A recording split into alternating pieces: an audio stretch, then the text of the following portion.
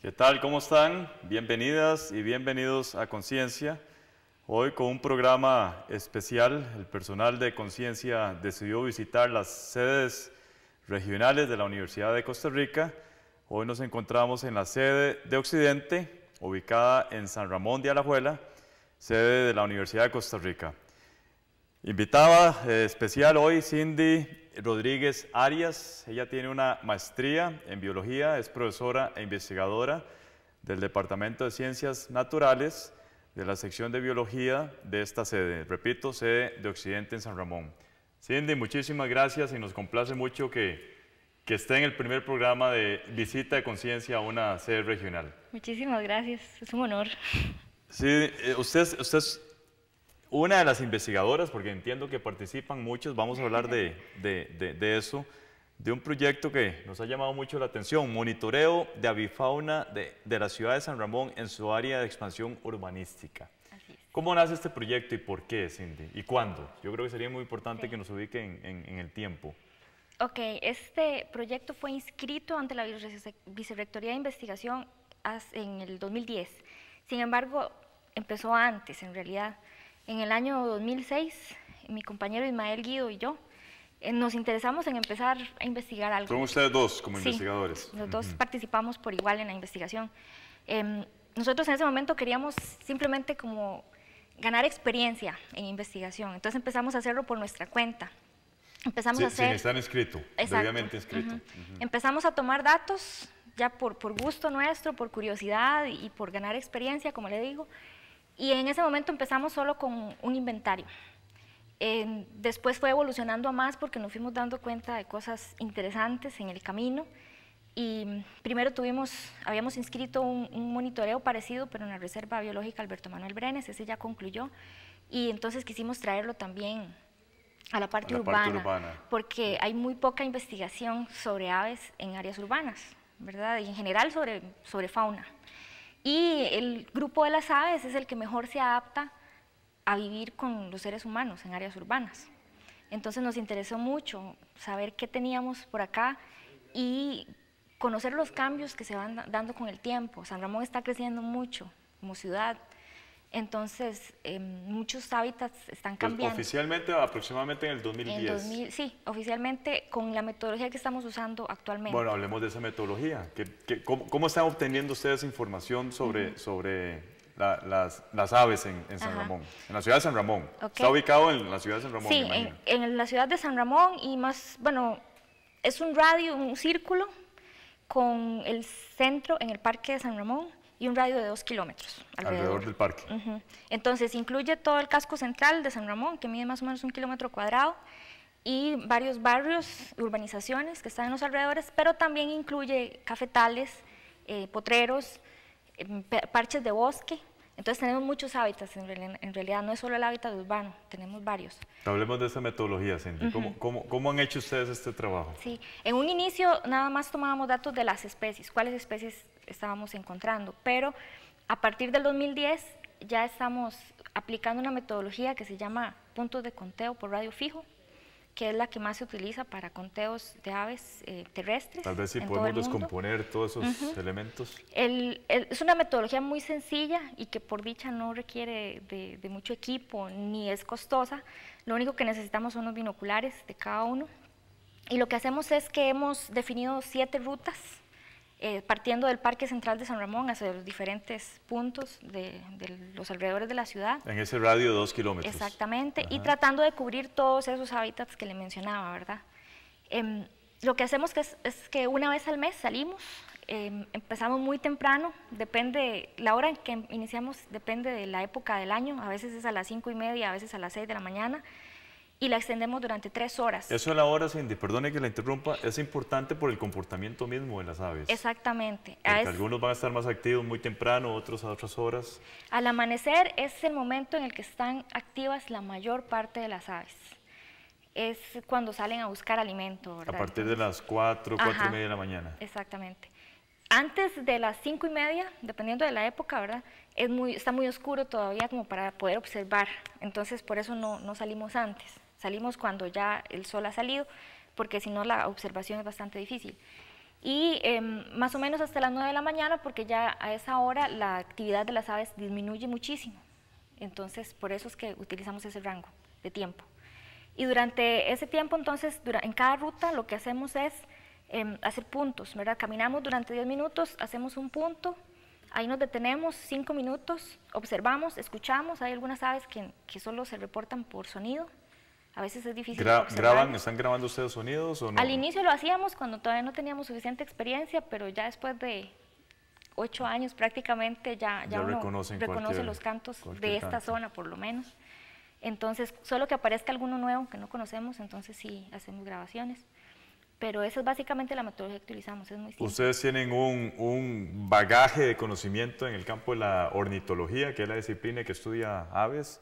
Sí, ¿Se tuvieron que preparar para, para reconocer eh, tantas especies? Sí, de hecho esos primeros años que le contaba, cuando el proyecto todavía no estaba inscrito, fueron precisamente para ganar esa experiencia que necesitábamos para ya poder en el 2010 empezar un, un estudio más serio. Ok, entonces vamos a ver si recapitulamos. Del Parque Central de San Ramón se dirigen en diferentes líneas. ¿Cómo determinan ustedes cuál línea en un mes particular? Porque perfectamente ustedes, si, si toman esta línea, pudo haber habido aves aquí atrás que no, que no registraron. ¿Cómo, cómo, contempla esta metodología de que ustedes están haciendo un buen muestreo? Sí, eh, tenemos mucho cuidado en que cada ruta se, se recorra la misma cantidad de veces que todas las demás, ¿verdad? que sea equitativo.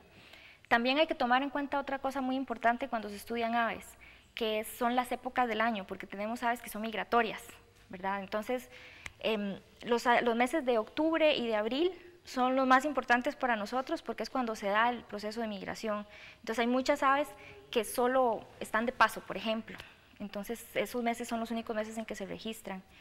Entonces tenemos cuidado de que cada ruta esté monitoreada en, los mismos meses. Por eso lo extendimos también durante cinco años, ¿verdad? Para tener suficiente tiempo, suficientes datos y que todas las rutas sean monitoreadas por igual y en las, en las diferentes épocas en la época de las aves migratorias del hemisferio norte y en la época de las migratorias del hemisferio sur. tenemos que hacer una pausa, pero le voy a plantear la siguiente inquietud, eh, Cindy. Sería interesantísimo comparar lo que ustedes están haciendo con un antes. Idealmente un antes bastante, bastante pasado. ¿Cómo hacemos esa comparación? Como para que ustedes puedan determinar qué es producto de la urbanización, esa diferencia en términos de abundancia y, distribución de las, de las especies. Dejémoslo para una segunda, eh, un segundo segmento y ya regresamos con todas y todos ustedes.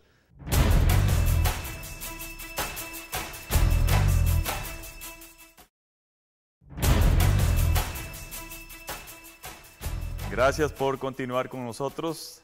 Estamos hablando con la máster Cindy Rodríguez, profesora e investigadora del Departamento de Ciencias Naturales, sección de Biología de la sede de Occidente, Universidad de Costa Rica. Cindy, dejamos planteada una pregunta una inquietud en el segmento anterior. ¿Cómo hacemos para comparar toda esa información que ustedes están generando hoy con lo que existió en el pasado como para poder decir que los cambios se deben al proceso de urbanización? Sí, desgraciadamente no tenemos datos de ah, hace mucho ah, tiempo. Eso es lo que me imaginaba. Sí, no existen, por lo menos para la zona de San Ramón. De hecho, nosotros lo que queremos con esto es tener ya esta base para que en el futuro se pueda hacer precisamente eso que usted nos está diciendo, ¿verdad? No tenemos idea si hay más, menos especies, si han cambiado eh, las especies. Ah, de hace mucho tiempo no, pero aunque parezca extraño o increíble, no sé, en el poquito tiempo que nosotros tenemos de estar monitoreando ya hemos detectado cambios. Y algunos de los hábitats que hemos estado estudiando han desaparecido, muchos cafetales se han transformado ya en urbanizaciones, por ejemplo, charrales se han transformado, en urbanizaciones. Tenemos varios humedales que desgraciadamente también han sido drenados, se han llenado de vegetación. Hemos visto la pérdida de especies en este tiempo tan corto desde el 2006 aproximadamente. Exactamente. Y como ejemplo, le pongo un humedal que tenemos aquí en la, sede de Occidente. Tenemos, hay un terreno que se, llama, se conoce como el Laguito. Es un embalse que se creó para mitigar inundaciones en el centro de San Ramón. Durante mucho tiempo estuvo lleno de agua, era un lago, Y cuando nosotros empezamos en 2006, veíamos ahí patos, garzas, chorritos, eran muchos, hasta 20 especies diferentes de aves acuáticas, todavía tenía un pequeño espejo de agua. Y todo, todo, silvestre, por supuesto. Sí, pero, pero está muy rodeado por urbanizaciones, ese es el problema. Y el agua viene muy contaminada. Entonces, en un tiempo tan cortito, en cuatro años, vimos cómo desapareció el espejo de agua y todas esas especies se fueron hacia otros sitios. Muchas no se han vuelto a reportar en San Ramón, algunas lo que hicieron fue irse a una laguna, de, una planta de tratamiento de un beneficio que no es el mejor ambiente para ellos, pero es lo único que tienen. Entonces, aunque, aunque llevamos poquito tiempo, sí hemos visto cambios. También hemos visto especies que los primeros años no estaban y de pronto llegaron para quedarse. Cuantifiquemos un poquito, ¿cuántas especies en total han podido ver ustedes en este periodo de tiempo? Desde el 2006 hasta acá llevamos 207 especies. De hecho, es un número que nosotros no esperábamos por ser un ambiente urbano. Considerando que tenemos, usted me corrige, 913 en el país, me parece que es un número sí, importante. anda alrededor del 20% por ahí es un, número significativo. Muchas de ellas migratorias, Cindy. Sí, muchas de ellas migratorias, exactamente. De hecho, hay que tener cuidado cuando se habla de números, ¿verdad? Porque tampoco hay que dejarse engañar, uy, 207 especies son muchas, pero hay que tomar en cuenta que muchas de esas especies se han observado solo una vez, como las especies migratorias que le contaba, que vienen de paso nada más, y entonces se ven un año y no se vuelven a ver.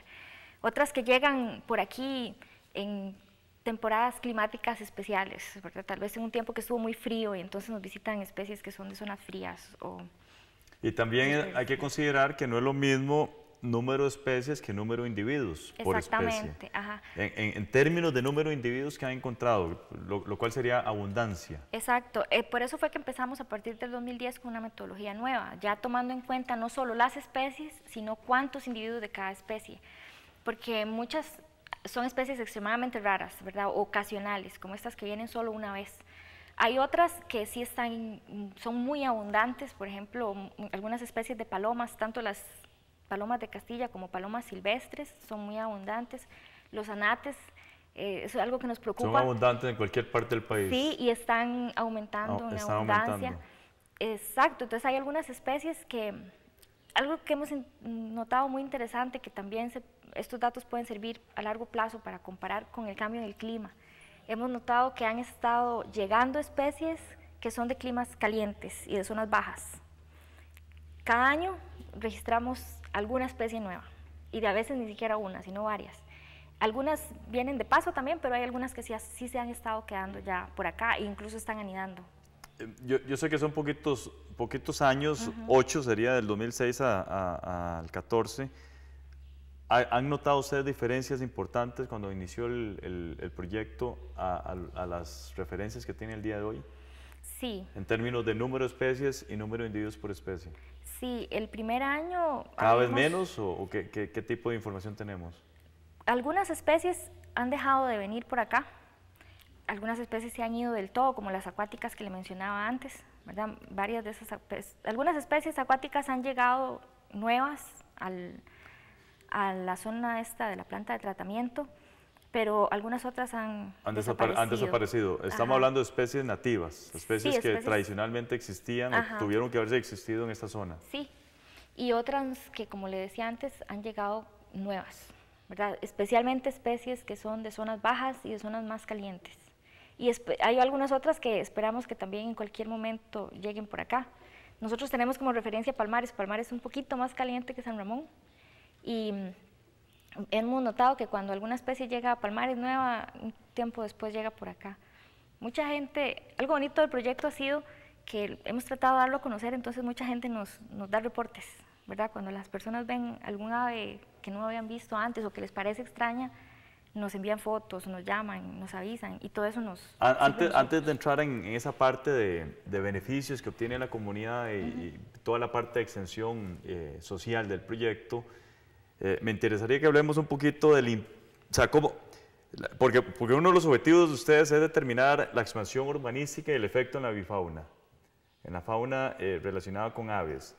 ¿Qué podemos concluir de los datos que ustedes tienen generados en estos ocho años, Cindy, el impacto de la urbanización o de la edificación o cementalización, como que, que queramos llamarlo, afectado. Sí, claro. El primer, el más significativo, el impacto más significativo ha sido en las aves acuáticas, ¿verdad?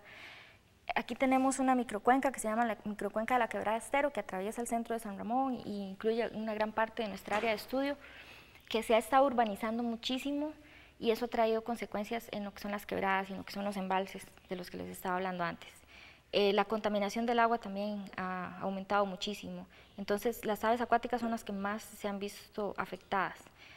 También, em, algo importante es que las aves son indicadoras de ciertos tipos de hábitat, ¿verdad? Entonces, otras especies que hemos visto que han estado disminuyendo son las que son especies de charrales, que, em, porque muchas las reportamos en em, lotes que estaban esperando a ser construidos. Entonces tenían vegetación de charral y ahí se observan muchas especies de, semilleros, por ejemplo, que una vez que ya se urbanizan esos lugares, esas aves se van de acá.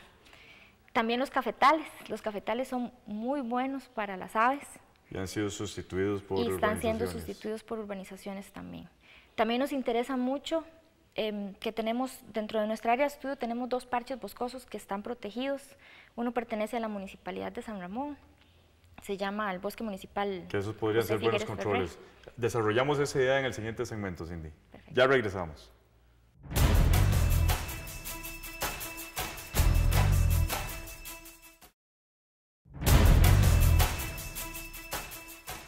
Continuamos con Conciencia. Estamos hablando con la máster Cindy Rodríguez aquí en la sede de Occidente en San Ramón de Alajuela. Cindy, usted empezó a introducir un tema que, es extremadamente interesante. Eh, el papel que pueden representar espacios boscosos en, esta, comparación con respecto a áreas de urbanización. Coméntenos al respecto. Sí, en nuestra área de estudio tenemos dos, ¿verdad? Como decía, el bosque municipal y también un parche de bosque protegido aquí en la sede de Occidente, que es el bosque demostrativo de la sede de Occidente si comparamos las avifaunas, ¿verdad? La, composición de especies de estos parches boscosos con los de la ciudad o los cafetales es bastante diferente. Y aunque muchas... A pesar de la poca distancia que, pues están, están ahí en el, mismo espacio, ¿verdad? Pero em, el, hábitat es muy diferente, la oferta de recursos para las aves también es muy diferente. Y entonces, en esos parches, a pesar de que son tan pequeñitos y mucha gente podría pensar de que no son la gran cosa por ser áreas tan reducidas, sí nos hemos dado cuenta que para aves son refugios fundamentales, especialmente para aves migratorias. Hay muchas aves migratorias que las hemos visto únicamente en esos parchecitos de bosque. Entonces consideramos que es sumamente importante mantenerlos, ojalá poder conectarlos de alguna forma. De hecho, hay, hay otro proyecto. Establecer corredores. Exacto, hay otro proyecto para, para, hacer ese, corre, ese mega corredor aquí en la zona de San Ramón, este, precisamente para para favorecer a esas especies. Eh, eh, se, me acaba de ocurrir, Cindy, imagínense que este, es el impacto de la urbanización en aves, que tienen la capacidad de volar. Exacto. Imagínense otro tipo de, mamíferos, por ejemplo. Sí, o anfibios, que tienen una capacidad muy limitada. Es, fácil entender el proceso de desaparición que hemos tenido de, muchas especies. ¿Cómo, han financiado, Cindy, este, este proyecto ustedes? Bueno, por dicha este proyecto, como les decía antes, no requiere mayor inversión, lo único que necesitamos son los binoculares y como nosotros vivimos aquí en San Ramón no, necesitamos desplazarnos. Sí tenemos eh, financiamiento de la Vicerrectoría de, Investigación, pero más que todo para material divulgativo. A nosotros nos gusta mucho divulgar lo que hacemos, entonces... Hablemos casualmente de esa parte. ¿Cómo, cómo, ¿Cómo, hay esa transferencia de conocimiento a la comunidad? ¿Cómo, cómo, cómo la la comunidad se entera de lo que ustedes están haciendo? Hay diferentes formas, ¿verdad? Primero están las jornadas de investigación que se hacen todos los años. Nosotros siempre participamos. Pero eso se hace aquí en la, eh, sede. Sí, pero se ha llevado a otros ah, lugares. Ah, se, ha llevado, se, ha llevado, al recinto de Tacares. El año pasado se hizo en el museo, en el puro centro de San Ramón. Entonces sí hemos tenido ese espacio. También a nosotros nos gusta dar cursos libres. Todas las vacaciones en enero y en julio damos un curso libre abierto a la comunidad, a cualquier persona de cualquier edad que quiera aprender sobre las aves. Son bienvenidos a venir. ¿Se llenan? Sí, por dicha. Y siempre los llevamos de gira, los llevamos al campo y lo que queremos es que la gente aprecie lo que tenemos aquí alrededor, ¿verdad? Eh, para que hagan pongan su granito de arena. Ustedes aprovechan todas esas oportunidades para tratar de cambiar los estilos de vida de la, de la, de la gente, me imagino. Sí. Contaminar menos, todo ese Sí, tipo de sobre de todo no cosas. tener aves en cautiverio, ¿verdad? Este, quitar esta... Eso es común en San Ramón. Sí, muy común en toda el área de Pese a Occidente. que es totalmente prohibido por la nueva ley de, de vida silvestre. Sí, pero hay personas que ya tenían sus permisos de caza y que en realidad nadie los regula de cuántas aves están cazando, ¿verdad? Entonces, eh, más que todo eso, también tratamos de incentivar mucho a la gente de que mantengan sus jardines, que no encementen todo, que siembren un arbolito de huitite que es tan fácil y que da tanto alimento a aves, ¿verdad? Que siembren flores para los colibríes. Ahí más o menos les hablamos de cuáles especies pueden utilizar en los jardines para atraer aves en lugar de encerrarlas, por ejemplo. Claro. Estudiantes, ¿han involucrado estudiantes en estos ocho años de, de estudio? Sí, nosotros siempre tenemos algún asistente que nos ayuda con el procesamiento de los datos y que puede ir con nosotros también a tomar los datos de campo. Y cuando han habido estudiantes interesados también en, en en acompañarnos a tomar datos, también lo hemos hecho. ¿Por, por qué la Universidad de Costa Rica debe hacer estos, estos estudios, Cindy? ¿Qué, qué- qué aporte hace la Universidad de Costa Rica eh, haciendo un estudio de avifauna en áreas, en áreas urbanas? Bueno, nos, nos da una justificación del- de cómo o del por qué debemos respetar ciertas áreas, por ejemplo, las áreas de humedales. ¿verdad? Ya estamos viendo cómo se afectan con Claro, esto. claro. Entonces, nos da la justificación para proteger, para restaurar. De hecho, este proyecto ha llevado la- al proyecto de restauración del laguito, que es otro proyecto bastante grande, y que la inspiración nació de ahí, de ver cómo se degradó, de ver cómo desaparecieron todas esas especies de aves acuáticas. Entonces, ahora estamos con otro proyecto muy grande para restaurar ese humedal y otros humedales, si se pudiera. ¿Qué- qué- qué- en- vamos a ver, Cindy, ¿qué, qué puede hacer un individuo cuando la tendencia es hacia el desarrollo económico de las, de la- de las ciudades? Yo creo que esta expansión urbana no la, no la, no la para nadie. O sea, ¿qué, qué puedo hacer, ¿qué puede hacer un ciudadano de San Ramón en este sentido? Es muy difícil, ciertamente es como nadar contracorriente. Un solo individuo puede ser muy poco, pero la idea entonces es... Que Por eso, también, también va en contra de las políticas de la municipalidad, porque la, municipalidad lo que más quiere es eh, expandirse, ex- expandirse, sí. En. San Ramón existe un, un plan regulador, pero todavía no está aprobado y no se está ejecutando. Pero muchos de los datos que nosotros estamos tomando respaldan las áreas que en ese plan regulador están em, delimitadas como áreas de protección, por ejemplo. Em, nosotros hemos tratado de tener una buena relación con la municipalidad, de hecho trabajamos en conjunto con ellos en varios proyectos, incluyendo este de la restauración de los humedales. Y también hemos utilizado este proyecto para enamorar a la gente, ¿verdad? Enseñándoles lo que tenemos. Vean qué bonitas las especies, las- los patos que podemos ver, podríamos estar viendo en el laguito si eso se restaura. Entonces eso lo utilizamos como para, para eh, inspirar a la gente a, a ayudar, a colaborar, a, no sé, por lo menos que no tiren basura a las quebradas o que traten de, de, mm, tener un adecuado manejo de las aguas residuales en sus casas, que no vayan a las quebradas. Nos queda un minuto, Cindy. ¿Qué sigue? ¿Por cuánto tiempo están planeando ustedes continuar con este proyecto? Exacto, esto es una línea base.